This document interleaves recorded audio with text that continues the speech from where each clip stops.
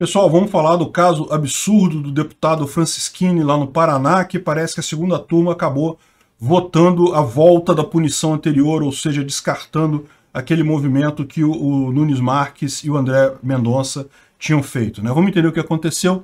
Essa notícia foi sugerida por Vitor Bitarello, Jogo do Bicho e mais um monte de gente. Obrigado ao pessoal que sugeriu a notícia, obrigado a você que está assistindo o nosso vídeo. Se você gosta do nosso conteúdo, por favor, deixe o seu like, se inscreva aqui no canal. Né? Pois bem, a notícia é que ontem mesmo a segunda turma do STF reestabeleceu a cassação do uh, deputado Francisquini lá no Paraná. O resultado terminou é, é, 3 a 2 é, o André Mendonça não manteve o pedido de vista que ele tinha feito, ele devolveu o processo para votação, votou a favor do Francisquini, mas daí ficou 3 a 2 os demais é, ministros votaram pela cassação dele novamente. Né? Mas é aquilo que eu falo para vocês, já foi importante esse movimento feito pelo Nunes Marques e pelo André Mendonça, porque mostrou claramente para o pessoal o quão partidário eles estão nesse momento. Olha o absurdo que é essa decisão que eles tomaram. Repara o que, que aconteceu. Olha como fala aqui a Gazeta do Povo. Né? A decisão é importante porque ela firma uma jurisprudência para caçar candidatos que questionem a votação eletrônica. O problema disso é, tem crime aí? Tem isso combinado na lei? Tem alguma lei que fala isso, que é proibido criticar o voto eletrônico? Não, não tem lugar nenhum, isso foi inventado deles aí. Como é que eles tiraram o, o, o, o mandato do cara? Porque ele disse que teve abuso de poder econômico e uso indevido dos meios de comunicação social. É aquela questão que a gente levantou aqui. O que, que é o abuso econômico? O que, que é o abuso de poder econômico e uso indevido de meio de comunicação social? É justamente a, a, a, isso se aplica à televisão, quando alguém, algum candidato, alguém tem muito poder político, tem muito dinheiro, consegue comprar slots, consegue comprar exposição nos meios de comunicação, e daí isso acaba sendo algo que ajuda a ele e prejudica as outras pessoas. Isso é abuso de poder econômico e uso indevido de meios de comunicação social. É isso que está é, descrito na lei, é isso que sempre foi o entendimento jurisprudencial, é isso que está previsto ali no TSE. E por que, que isso é algo relevante de fato? Porque, de fato, se, se alguém é um candidato é muito rico, ele quiser comprar muitos spots na Rede Globo, ele acaba tendo uma exposição maior do que os concorrentes dele e, uh, e com isso acaba uh, maculando, uh, digamos, a neutralidade da eleição, né? Agora, o que eles.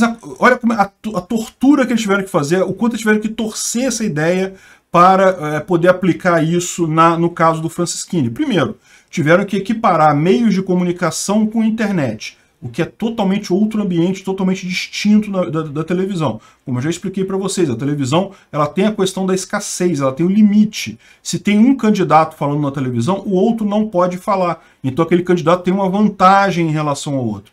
Na internet não é assim. Se tem um candidato falando, o outro pode falar também, e o terceiro pode falar também, e o outro pode falar também ao mesmo tempo. Vai todo mundo falar ao mesmo tempo, e, os, e quem, quem importa, quem decide o que vai escutar é o, o consumidor. É a pessoa que está ouvindo aquilo ali que vai escolher que candidato que ela quer ouvir.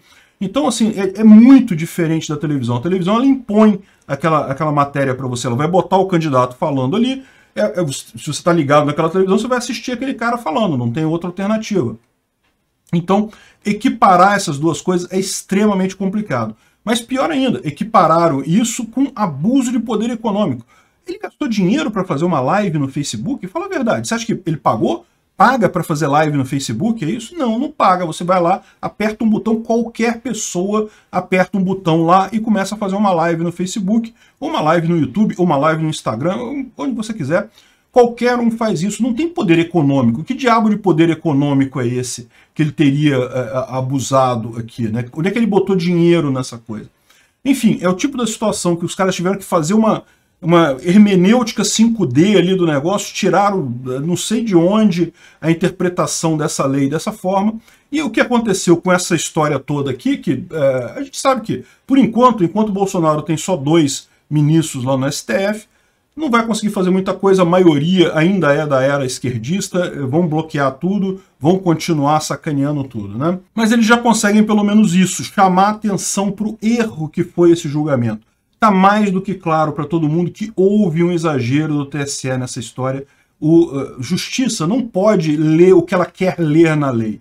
O que está escrito na lei ali é muito claro, tem que ser obedecido. Se a lei está errada, se existe agora o fenômeno das redes sociais e isso é, tem que ser botado no código eleitoral, ok, isso é outra história.